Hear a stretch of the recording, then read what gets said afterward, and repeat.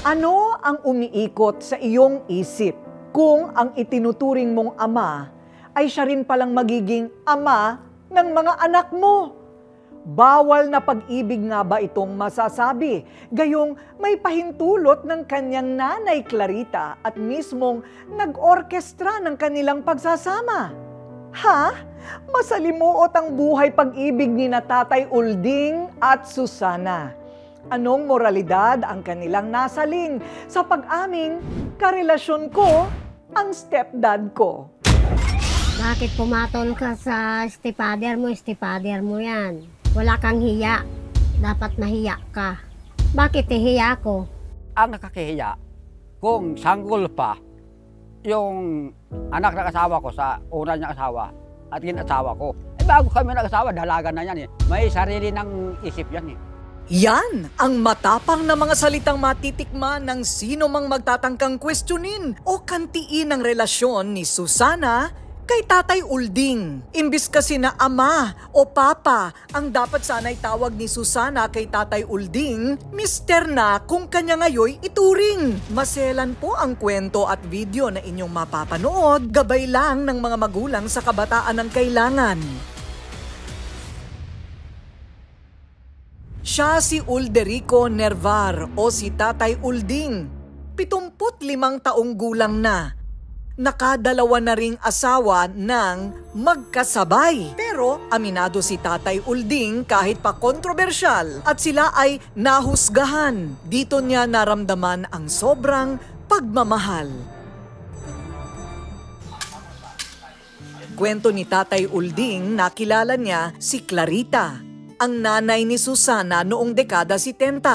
Sa trabaho nga nagadamo kami ng kaingin. Nagadamo kami ng kaingin. Ay binibiro nga kami dahil lagi kami nakatabi sa pagbunot ng damo. Ayan nga nangyari. Nagkasundo kami doon. Sabi ko, ay wala naman siyang pamilya rin. Wala naman din ako ng pamilya. Ayun, nagsama kami. Hindi nagtagal, nagkapalagayan sila ng loob at naging magkasintahan. Kalaunan, nagdesisyon silang magsama sa isang bahay. Halika, pasok ka sa loob. Papakilala kita sa mga anak ko. Ah, oo, meron. Pasensya na hindi ko nasabi. Pero okay lang ba yun sa'yo? Laking gulat ng binatang si Ulding noon nang ipagtapat ni Clarita na may mga anak na pala siya sa kanyang unang asawa. Mga anak, halika kayo. May papakilala Dahil ko sa inyo. pagmamahal daw kay Clarita, buong puso niyang tinanggap ang kasintahan at siya pa ang tumayong tatay-tatayan ng mga anak ni Clarita. Ay sinabi naman niya sa akin eh, tatlo na anak sa aklan, madalaga na yun. Sabi niya, madalaga na. Sapagkat andito nakako akong pangalawa ninyong magulang. Sa loob ng sampung taong pagsasama ni na Ulding at Clarita, wala silang naging problema. Bukod sa kagustuhan ni Ulding na magkaroon ng sariling anak, Pangarap ko, mag-asawa ako, magkaroon ako ng anak. Wala na kaming anak. Laigit siya. Clarita, ka naman tayo gagawa ng baby. Kunting naman. Ilang ulit ko bang sasabihin sa'yo na hindi na tayo pwedeng magkaanak? Nagpatali na ako. Eh, paano na may pangangailangan ko? Gusto ko rin magkaroon ng pamilya. gusto na sanang makipaghiwalay noon ni Ulding pero ayaw siyang pakawalan ni Clarita. Ganito na lang, kung talagang gusto mo magkapamilya, yung anak ko na lang ang asawahin mo. Huwag mo lang kaming iwan. Maliman sa tingin ng iba, dito naisip ni Clarita na ipasiping at gawing pangalawang asawa ng kanyang karelasyon ang kanyang pangalawang anak na si Susana. Sabi na, ano, kung maligaw ko sa iba, hindi ako payag. Kung gusto mo, sabi niya, parang hindi ka lalayo sa amin, ito yung anak ko. Oh. Ako bahala sa mga kamag-anak ko. Ako bahala. Pagtatapat naman ni Susana, 14 years old lamang siya noon nang ipagkasundo siya ng kanyang ina kay Tatay Ulding. Labag man sa kanyang kalooban noon bilang menor de edad, wala naman daw siyang nagawa kundi sundin ang kagustuhan ng ina. Sabi ni nanay, ano daw, gusto daw ng asawa niya mag asawa daw ng dalaga. Tinanong ko siya, bakit nay kako, sino ba yung ginaparito niyo? Sabi ni nanay sa akin, ako daw. Wala akong magawa eh. Ginusto niya eh.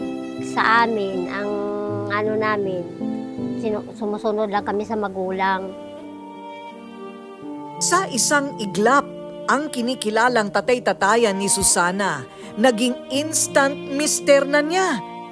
Hindi naging madali para kay Susana na tanggapin ang komplikadong sitwasyon nilang tatlo. Pero pikit mata niyang ginawa ang desisyon alang-alang daw sa pagmamahal sa kanyang nanay. Sige nga, sabi ko, sige na lang sa inyo para sa inyong magulang ko.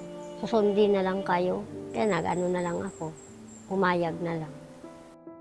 Magkatabing natutulog sa iisang kama si Ulding, ang kanyang misis na si Clarita at ang kanyang anak-anaka na si Susana. Sa isang, isang banig lang kami.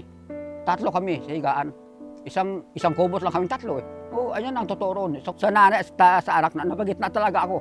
Hindi ko kaya sabihin, pagka totoo naman ito at nangyari sa buhay ko.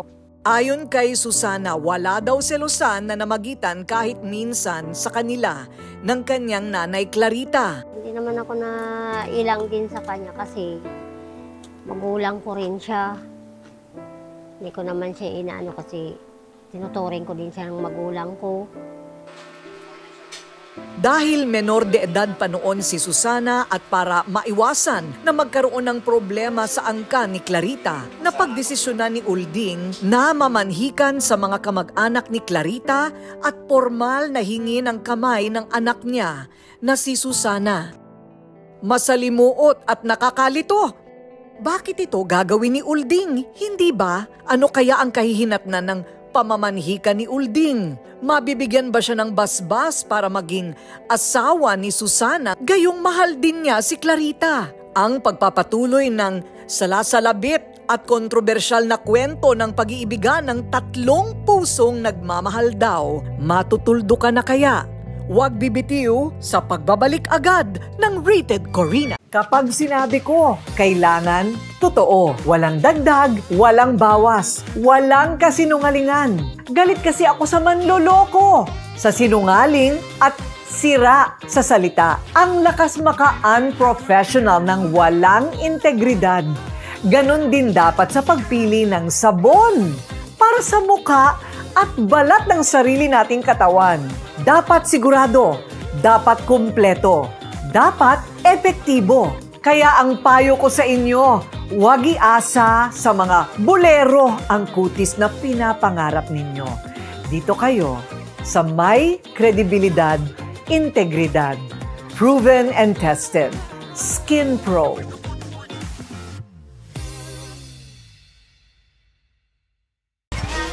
Pala si Uldi na magiging bagong tatay. Ang tawaging ama ng sarili niyang mga anak ang pinapangarap ni Tatay Ulding. Ito daw ang kukumpleto ng kanyang pagkatao bilang isang lalaki. Hindi ito kayang ibigay ni Nanay Clarita dahil hindi na siya maaaring magdalang tao pa. Mabigat man sa kalooban, sinakripisyo niya ang kanyang anak na si Susana para maging asawa at ina ng magiging anak sa wakas ni Tatay Uldin. Dahil dito, formal na namanhikan si Tatay Ulding sa mga kamag-anak ng mag-ina. Himala namang umayon sa kanya ang tadhana at binasbasa ng pagsasama ni na Ulding at Susana. Ako, nagpakatao ako sa kanila. Ultimo nga na gumastos sa akin, sa totoo lang, ang kanila gumastos sa akin. At lahat ang kanya, tuwang-tuwa sa akin. Lang wala man na nagsabi, ay huwag niyong tanggapin yan. Para kay Tatay Ulding walang masama at walang nakakahiya sa kanilang ginawa. Ang nakakahiya, kung sanggol pa, yung anak ng asawa ko sa una niyang asawa at asawa ko. Eh bago kami nag-asawa, dalaga na yan eh. May sarili ng isip yan eh.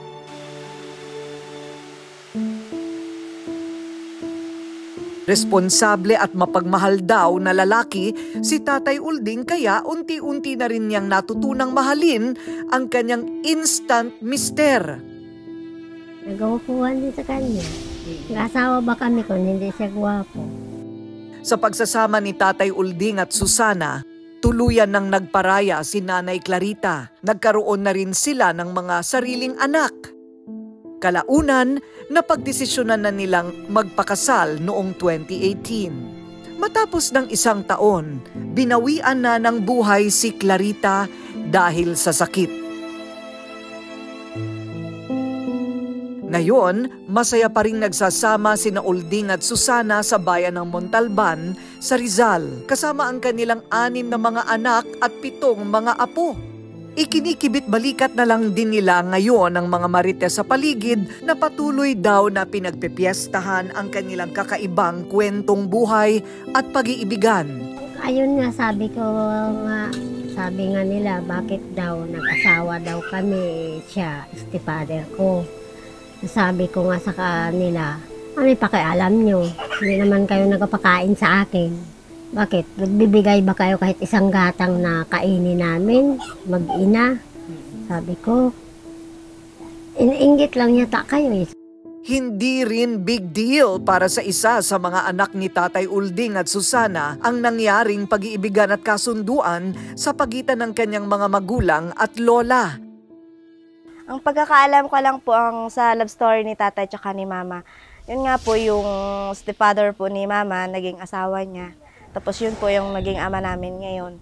Tapos yung lola namin, yung lola namin, yung, yun ang unang tatay na asawa. Ayun yung alam ko. Nagulat ako. Ko, sabi ko, gano'n pala yung ano nila, kwento, sabi ko.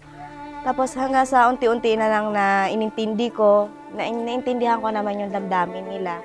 Tapos, sa mga ano naman, sa mga pinagsasabi-sabi nila, hinahayaan ko na lang.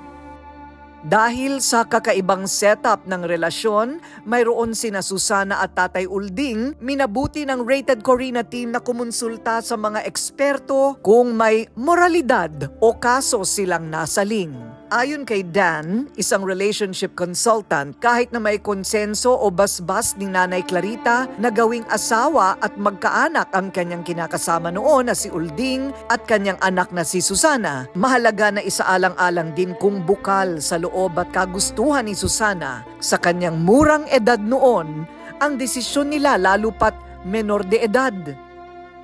Medyo masalimuot yung sitwasyon na to. Bakit?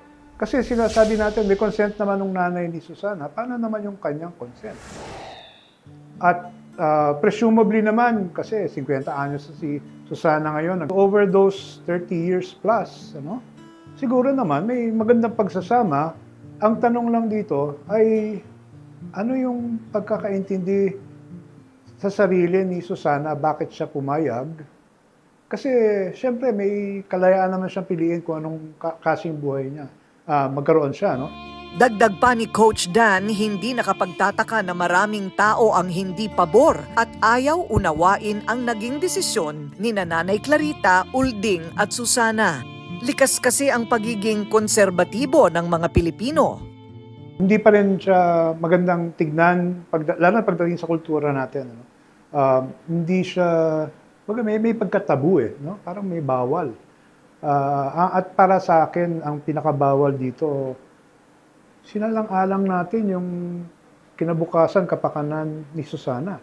Para lang magkaroon ng peace of mind si Clarita, pati yung matanda, yung lalaki, ano? Sa legal namang usapin, base kay Attorney Queenie Rojano, dahil mahigit 30 taon na simula nang mangyari ang kasunduang kasal. Wala silang pananagutan sa ngayon sa batas. Pero babala sa lahat na ito ngayon ay ipinagbabawal. Ayon kasi sa Republic Act 11596 o Child Marriage Law na naipasa lamang noong December 2021, ang sinumang masasangkot sa pagpapakasal ng step-parent sa kanyang step-children lalo na kung menor de edad ay maaaring masampahan ng kasong kriminal. With respect to dun sa legal implications ng uh, pagpapakasal ng stepfather sa kanilang mga stepdaughters or stepparents to stepchildren, may implication talaga. Uh, yung pagpapakasal na iyon ay kinukonsidera ng batas natin, particularly Article 38 of the Family Code as void marriages. Ipinagbabawal yung mga ganitong klase ng kasal sa pagitan ng uh, mga step-parents and step-children. Paglilinaw din ni Attorney Queenie bagamat kasal na sina Tatay Ulding at Susana, maari pa rin daw itong maipawalang bisa. considered ang kanilang kasal as void ab initio o yung tinatawag nating mga kasal na walang bisa, no? At ah, meron niyang implikasyon pagdating sa usapang ah, manahan, nagkaroon man sila ng anak, yung mga anak nila ni tatay at saka ni nanay Susana ay maikonsidera maikonsiderang mga illegitimate children. Dahil nga ang kanilang kasal ay hindi kinikilala ng ating batas. Para kina Tatay Ulding at Susana, hindi na mahalaga sa kanila kung ano daw ang sinasabi ng batas. Wala ring halagang opinyon at sasabihin ng mga tao sa kanilang paligid. Bigay daw si Tatay Ulding ng langit sa kanilang pamilya. Para kay Susana, isang mapagmahal na asawa at responsableng padre de pamilya.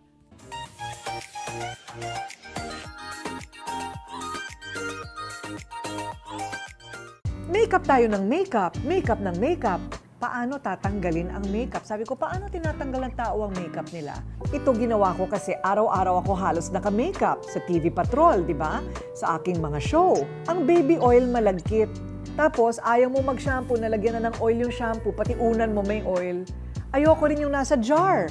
Kasi, yung jar, pag nilagay mong ganyan sa mukha mo, ganyan mo ulit, nagkaroon na ng makeup yung garapon, right? Kadiri. Ito, very hygienic and has vitamins and is also lightening on the skin. It's a tube and it's called Take It Off. Matatanggal lahat. Pati problema nyo matatanggal. Namumroblema tayo sa maduming balat, ito tanggal lahat. Okay? So, you try it kahit yung mahirap tanggalin na mascara, tanggal lahat yan. Take it off, girl.